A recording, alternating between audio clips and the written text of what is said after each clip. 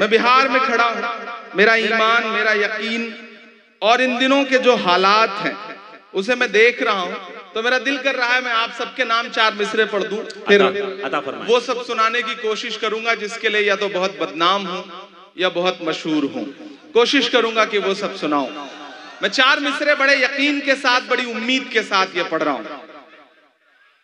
कि नफरत के कारोबार को बदलेगा ये बिहार। आहा इंशाल्लाह। कोई भी हाथ खामोश नहीं रहना चाहिए। यहाँ बैठे बैठे मेरे जहन में चार मिसरे आए तो मेरा मन कर रहा है कि मैं पढ़ दूँ। अता हो अता हो कि नफरत के कारोबार को बदलेगा ये बिहार। जुल्मत तेरे आसार को बदलेगा ये बिहार। जुल्मत तेरे आसार को बदलेगा ये बिहार।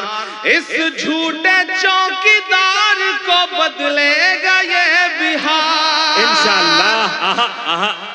अब पीछे तक एक हाथ उठे आपका अगले मिसरे पे। के जुल्मत तेरे आसार को बदलेगा ये बिहार। नफरत के कारोबार को बदलेगा ये बिहार। इस झूठे बदलेगा ये बिहार। दिल्ली तेरी सरकार को बदलेगा ये इंशाल्लाह आमीन। क्या कहने इमरान भाई? बाबा बाबा बाबा बाबा अल्लाह आपके जुमलों को सच कर दे लफ्जों को। बिहार। दिल्ली तेरी सरकार को बदलेगा ये बिहार।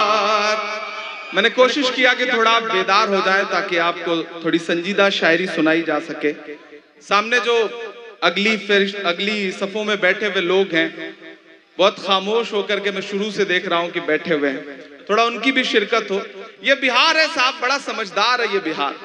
अभी मैं आ रहा था, एयरपोर्ट पर उतरा तो थोड़ी दूर पे एक भिखारी भीख मांग रहा था। एक बिहार के आदमी के पीछे पड़ के जैसे जबरन भीख मांगते ना, ज़बरदस्ती वसूल लेना। साहब दे दो कुछ दो दिन से खाना नहीं खाया दे दो कुछ दो दिन से खाना नहीं खाया। वो आदमी बिहार का था साहब उसने 500 की नोट निकाली। नोट निकाल के उससे कहा कि 400 रुपए चेंज है। तो भिखारी ने जेब में हाथ डाला बोला हाँ साहब चेंज है। तो उसने पलट के 500 अपनी जेब में रखा बोला जाओ इसी से कुछ खा लेना जो तुम्हारे पास ये ये बिहार है। ये बिहार है। इस बिहार को सलाम। करता हूँ। बहुत शानदार आप सुन रहे हैं। मैं गज़ल के कुछ शेर सुनाता हूँ। मैं गजलें नहीं पढ़ता हूँ मैं। नज्मों का शायर हूँ। लेकिन आज यहाँ पे